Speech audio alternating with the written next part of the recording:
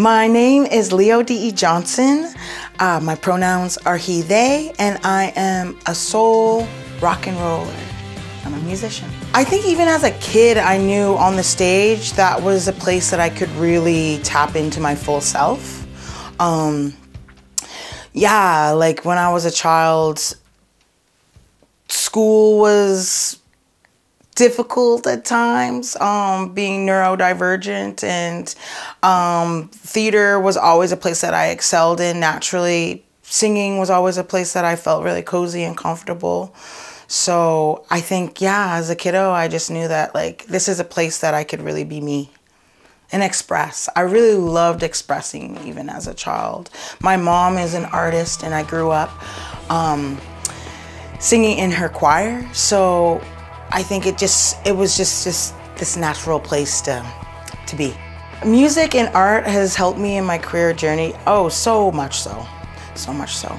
I, um, I just now am realizing that music knew I was trans before I had come out.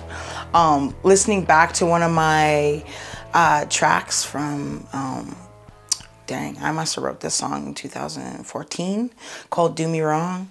And in the song, I say, you tried to leave me for another man.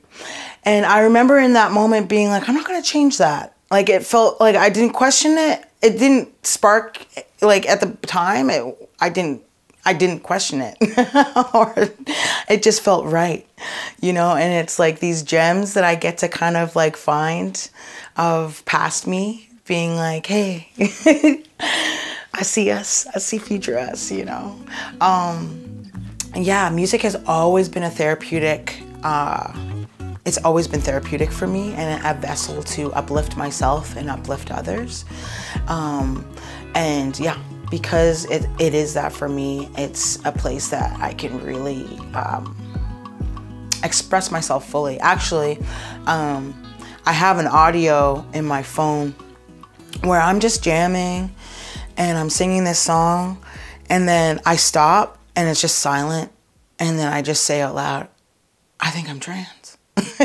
and it was just like it just like washed over me. It was the song that I was writing um, that um, the chorus was I wanna be your lover. I wanna be your friend.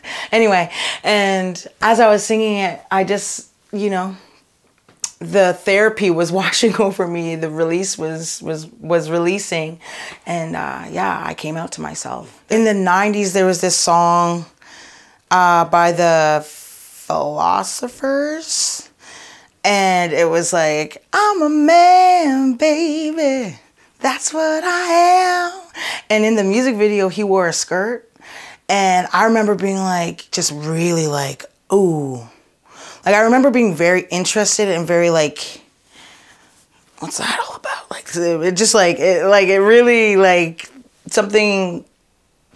I don't know if I necessarily was like I, am that person. Like that's that's me. I'm seeing myself being represented as like a, an adult, but it really was one of those like core moments of like pre-paving imagining imagining myself in that position. And also um, the band Salt-N-Pepa had a song um, what a man, what a man, what a man, what a mighty good man. Yes. And I absolutely loved how hard and soft they were and how like direct you know that song came out when i was such a young guy like i don't i think i had no idea what they were talking about but i could tell i could see the like fluidity within their artistry and their delivery and yeah that was another I would like listen to that song and just like try to find the outfits in my house, you know. Like I, I have a memory of me being in the mirror being like, okay, I feel like I'm serving this like masc femme moment. Somewhere down the line, I, I told myself that I started to believe that I was unable to be my full self, like, you know, that um, it was wrong for me to be loud. Uh, there's a stigma that black people are, you know, scary. That so you know, throughout the years, I, I made myself into, to try to make myself fit into a box. And yeah, I feel like it's really these moments right now where I'm starting to really truly believe that like um, that I'm meant to be my full self. I'm meant to be my full self. I'm meant to be loud. I'm meant to be um, passionate. And the box that I had been putting myself in is far too small. So it's taken me a long time to learn it, unlearn it, um, but I feel blessed that the lesson has been learned, and I, I will continue to let it, you know, percolate. What does it mean to be queer, trans, black, non-binary? Hmm, mixed. I think it means to me that I have the opportunity to have so much perspective and have the opportunity to um, see the world under so many different lenses.